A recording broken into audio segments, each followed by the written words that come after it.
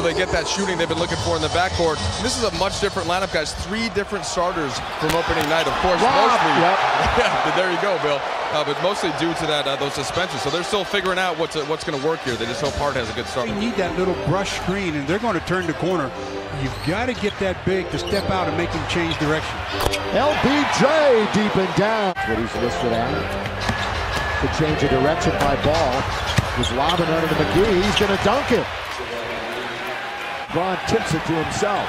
Now LeBron will bring the dribble across. Over to Lonzo. In rhythm for three. Yes, sir! Assist to LeBron. Three-pointer for Lonzo. LeBron lobs it in. Lonzo in good position. Boy, the mismatch against Kane. LeBron, he saw it. Lonzo did too, and one. Just have to keep tightening the screws on this end of the floor, though. Pocket pick. Lonzo, hello. Defense to offense, and the Lakers lead by 13.